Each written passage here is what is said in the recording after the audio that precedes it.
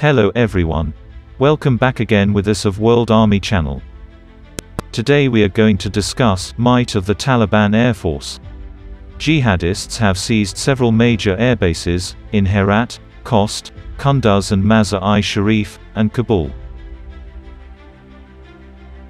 The Taliban have seized an air force worth hundreds of millions of dollars, including US-bought helicopters and attack planes, giving them more aerial firepower than a third of NATO members.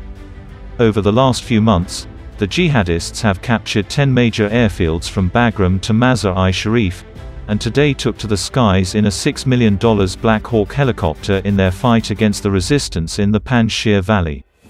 Taliban chiefs are reported to have ordered their troops to hunt down pilots from the disbanded Afghan Air Force, who received expensive training from the US and its allies to fly high-tech warplanes and choppers.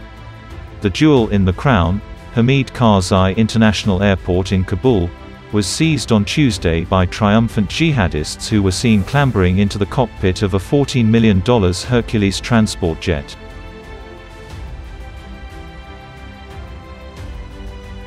The Afghanistan Air Force was operating 167 aircraft, including 108 helicopters and 59 planes, according to an official U.S. government inspection on June 30. Before Kabul fell, Uzbekistan confirmed that 46 Afghan aircraft, including 24 helicopters, had arrived in the country in order to prevent them from falling into the hands of the Taliban. The commander of the U.S. evacuation mission, General Frank McKenzie, said American troops disabled 73 aircraft before finally leaving the country on Monday night. That leaves as many as 48 aircraft seized by the Taliban, although it is unclear what the breakdown is in terms of planes and helicopters. Nevertheless, the Islamists have more air power than 10 of the 30 NATO members, including Albania, Bosnia, Estonia, Iceland, Latvia, Lithuania, Luxembourg, Montenegro, North Macedonia and Slovenia.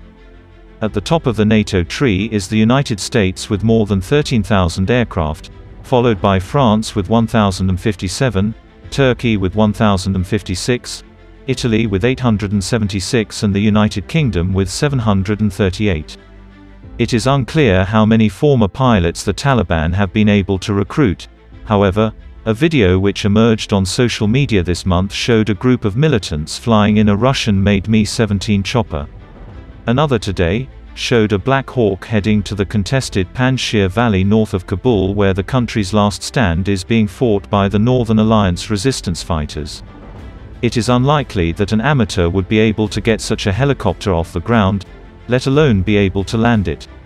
According to the June 30 tally by the US-based Special Inspector General for Afghanistan Reconstruction, SIGAR, the Afghan Air Force had 43 MD-530 helicopters, 33 Black Hawks, 32 Mi-17s, 33 C-208 propeller planes, 23 A-19 turboprop light attack planes and 3 Hercules C-130s. A single Black Hawk helicopter costs around $6 million, while a Hercules transport jet comes in at $14 million per unit. Although many of the planes were flown away before the runways were seized, satellite imagery revealed that not all of them made it. Analysis of satellite images commissioned by the BBC revealed that six days after Kandahar airport was captured by the Taliban, there were five aircraft, at least two Mi-17s choppers, two Black Hawks and a third unidentified helicopter. Around a month before the airbase was seized, there were 16 aircraft spotted, including 9 Black Hawks, 2 Mi-17s and 5 fixed-wing planes. The aircraft were either flown to other runways in the country or shifted overseas. An aerial picture of Uzbekistan's Termez airport taken on August 16 shows that there were more than 24 helicopters, including Mi-17, Mi-25, Black Hawks and also several A-29 light attack and C-208 planes. The Uzbek government has since confirmed that 46 Afghan aircraft did land in the Central Asian country. They quickly realized that they would need pilots to fly the high-tech vehicles and set about actively recruiting from members of the Afghan Air Force, who received top training by the US and its allies. Before leaving late Monday night, The U.S. military disabled scores of aircraft and armored vehicles as well as a high-tech rocket defense system, General Frank McKenzie said. A total of 73 aircraft at at Hamid Karzai International Airport were demilitarized or rendered useless. Those aircraft will never fly again. They'll never be able to be operated by anyone, he said. Most of them are non-mission capable, to begin with. But certainly, they'll never be able to be flown again. Two weeks ago on August 14 when the US started airlifting troops and civilians from Kabul airport, Pentagon built up a force of nearly 6,000 troops, along with 600 British soldiers, to occupy and operate the airport. Once the evacuation process ended, around 70 MRAP armored tactical vehicles, which can cost up to $1 million apiece, were disabled before leaving, along with 27 Humvees. The vehicles will never be used again by anyone, he said. The US also left behind the C-RAM system, counter-rocket, artillery, and mortar that was used to protect the airport from rocket attacks. The system helped fend off a five-rocket barrage from the Islamic State on Monday.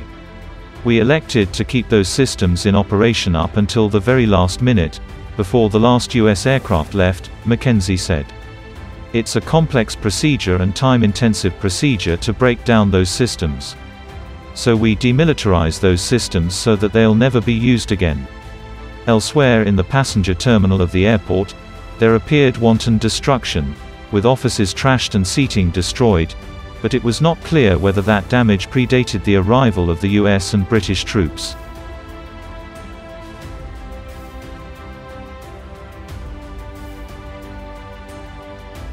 Thanks for watching, and as always, if you enjoyed this video don't forget to like, share, and subscribe for more awesome videos.